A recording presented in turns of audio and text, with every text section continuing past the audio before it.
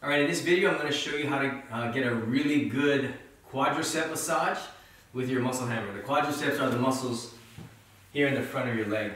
Okay, so what you want to do is you want to put yourself in a quad stretch, like so. The more you lean back, the more you're typically going to feel it in the quad.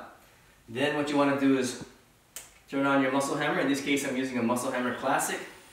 I'm going to turn it on to high. I'm using a round tip. Just work that muscle for a couple minutes in all the areas that feel the tightest. Um, it's okay to keep it stationary as well. That works very well as, uh, in addition to moving it, so it's up to you, whatever feels best.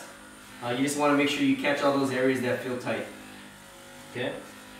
This feels great, and it will definitely get you the results you want. The reason we put the muscle in a stress before we work on it with the muscle hammer is because it helps to uh, elongate the muscle more effectively when you do it this way.